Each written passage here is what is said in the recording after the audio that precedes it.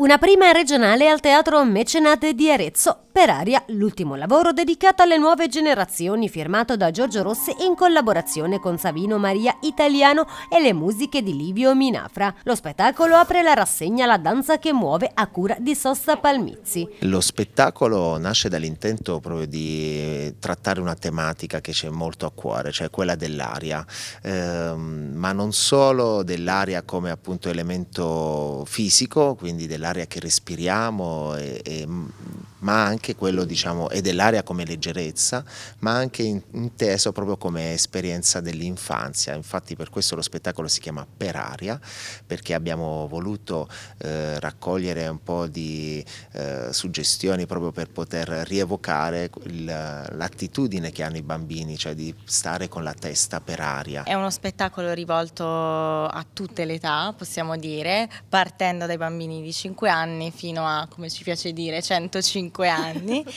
eh, perché mm, è uno spettacolo che regala un'oretta di divertimento, leggerezza, spensieratezza, ma anche riflessione e, e spazia tra il teatro, la danza, la parola. È la storia di tre bambini che viaggiano con la fantasia nella loro cameretta. L'appuntamento è per domenica 27 ottobre alle 17, a seguire lo spettacolo sarà in replica sabato 28 ottobre alle 9 e alle 11 per le scuole del territorio. Essendo un veicolo per l'immaginazione ti permette di creare dei mondi anche concreti e quindi nelle scuole è importante no? dare accesso, lasciare accesso ai bambini per lavorare con la loro mente, con la loro testa e quindi lavorare sulla loro immaginazione, sulla loro capacità di mettere in pratica poi quello che in modo creativo riescono a creare.